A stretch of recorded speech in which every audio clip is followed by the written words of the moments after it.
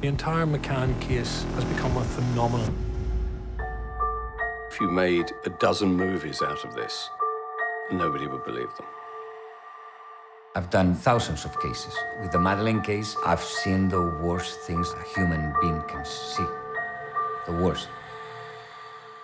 This fear that a three-year-old British girl has been abducted in Portugal. If your child isn't safe at a resort, where is she safe? The media made their daughter the most high-profile missing child in the world.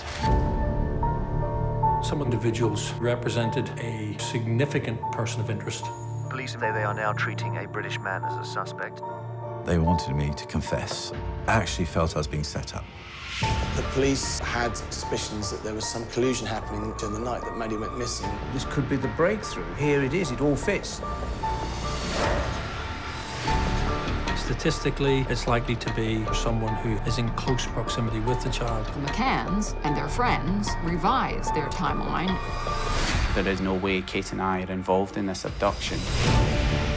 The police leaked information to the press.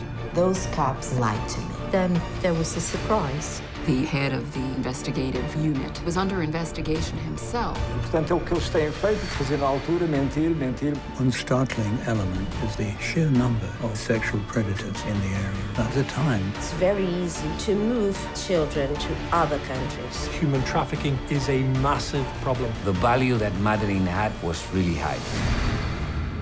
There's always something left to do till you find her. Somebody knows what's happened to Madeleine McCann.